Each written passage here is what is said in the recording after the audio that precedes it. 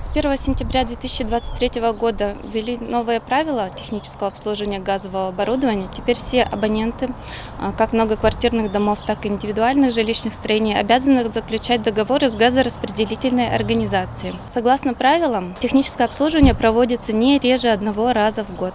Сейчас сезон отпусков, летний период.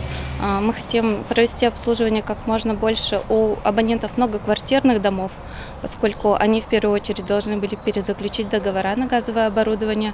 И поскольку люди приезжают, возвращаются с севера, все связано с безопасным использованием газового оборудования. Проверка оборудования проводится не реже одного раза в год. Ее результаты записываются в акте сдачи приемки выполненных работ. Акт остается у абонента.